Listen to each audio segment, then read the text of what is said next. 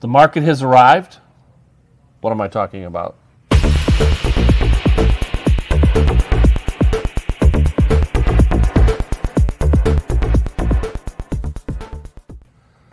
Hi everyone, my name is Mike Renick. I'm your host for this video. Welcome to another Two Minutes with Mike. My guest today is Don Bartolomucci, and I don't want to go on record. I have no idea what we're talking about right now. So here's the thing. So I did a video not too long ago that said um, the market's arrived. It's shifted. It's no longer heavily favoring favoring sellers. It's a blend between buyers and sellers. I shared at that time there's benefits for both, but there's still challenges out there in terms of mortgage rates are up and down. There's there's a lot of um, volatility in the stock market. Just an opinion. There's there's no facts behind this, but you've been doing this for a long time. Where are we headed in terms of being able to get mortgages? Are the rates? You know, they talk about when a recession, the rates fall. Um, we've had the clinical definition of two falling quarters, but yet we don't use the R word.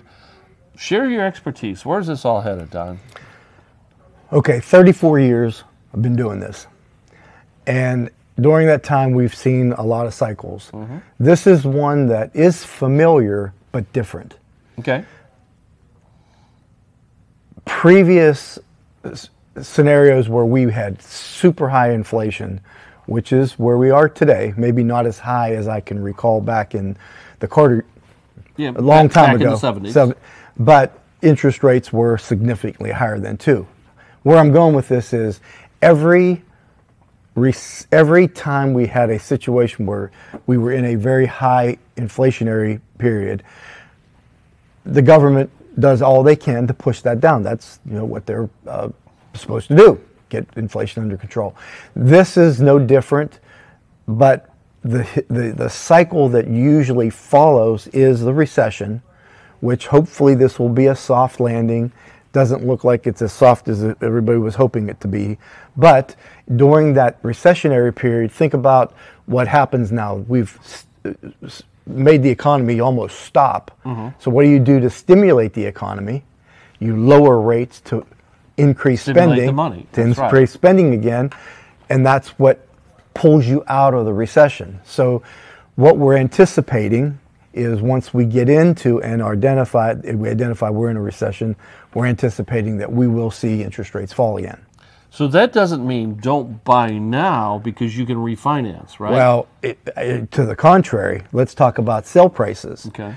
In recessions, real estate has been strong. I mean, values have held so well in the last seven of the yeah. I've, I have a chart I've seven, shown in many videos that we all remember 2008, but that wasn't the that was as an anomaly, right? right. So most well, all recession except the one that we were just discussing, value stayed rock solid. Mm-hmm. So the, the, the problem that you have by waiting, a lot of people are saying, I'll just wait till rates come down. Well, where are values going to be right. in another year when we see rates fall?